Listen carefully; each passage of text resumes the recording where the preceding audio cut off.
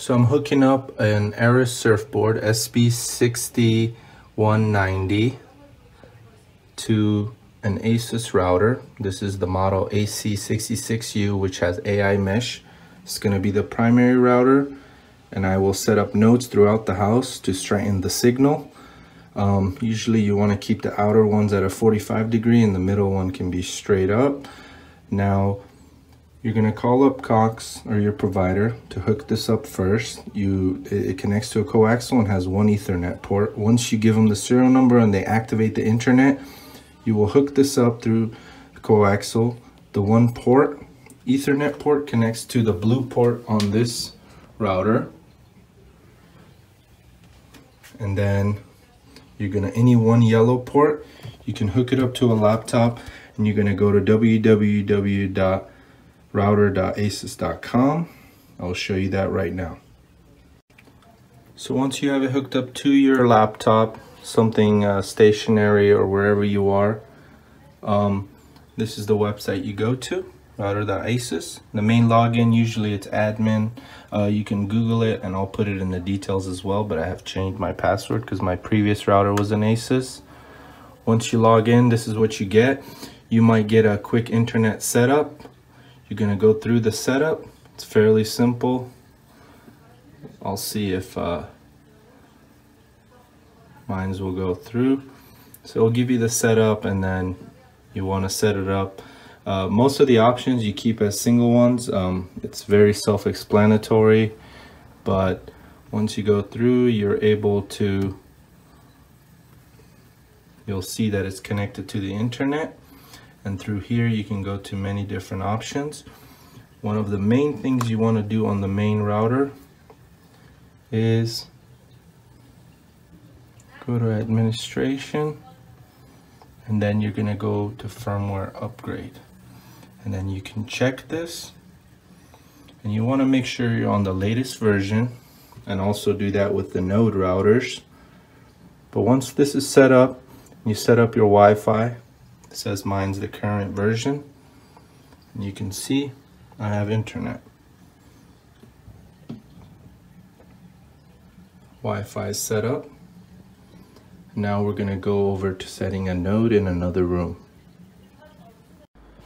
As you can see here, I've set up the second router, which is just an AC66U as an access point with a direct connection so from the settings, I have chosen this one, AP mode. And that what you do is with the main router, you hook up one of the ethernet ports, one of the yellow ports from the main router, and you hook it up directly to the blue, as you can see here, to the blue port, which is the black ethernet right here and then you're able to configure it using an access point. As you can see here it says access point. And what this does is it just extends the signal using this router and my main router in the hallway. So this just amplifies the signal. And when we go down here as you can see this is the repeater. Pretty much it's amplifying and it's got full bars. This is my main router in the hallway, which is lower signal as you can see. And then this is the 5G frequency for my main. And then these two are the, the signal from this router. So now when I'm in the garage, I will use the repeater so that I have a better signal. And you can use this utility from Asus to get the IP address to log in. Now that you have two routers, you're gonna wanna make sure you log in with the correct IP address. So this tool right here, it identifies it for you so that you can log into each individual router. Makes it a lot easier. And I'm right here says right here AP mode and you can go ahead change the password and the names and uh, if you ever wanted to You, of course, if you buy it used, you want to first hold the reset button on the back of the router, reset it, and uh, you can just check here. Mines are up to date, but you want to make sure they're up to date.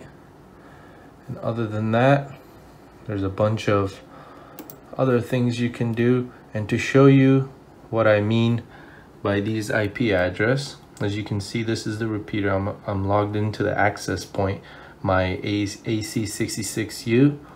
Now I'm gonna log out of this and when I type in router.asus.com, this is my AC66UB1.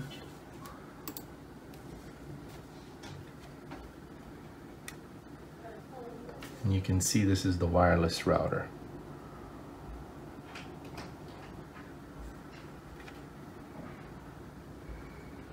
Another thing, if you have multiple AC66UB1s, you can put it in AiMesh node. So you're, you will have the, the default wireless router and you set up the other ones as AI mesh node.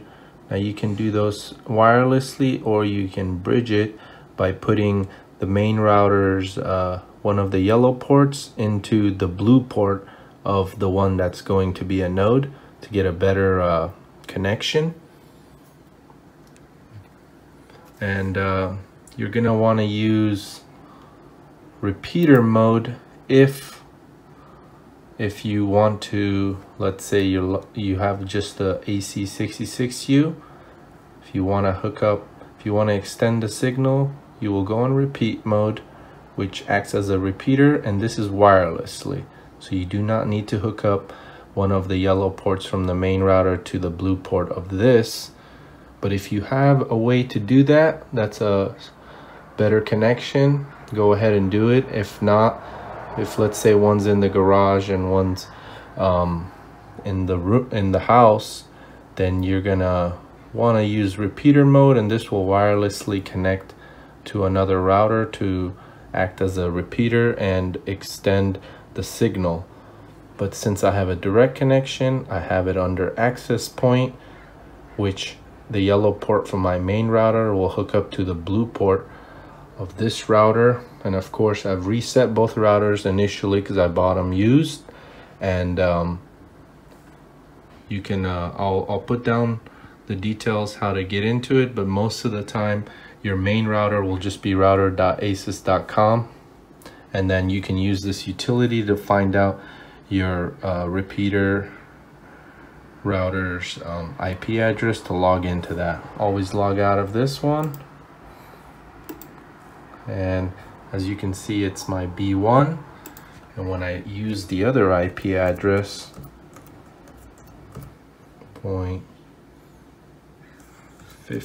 point 50.170, so my other router, it logs into the other router.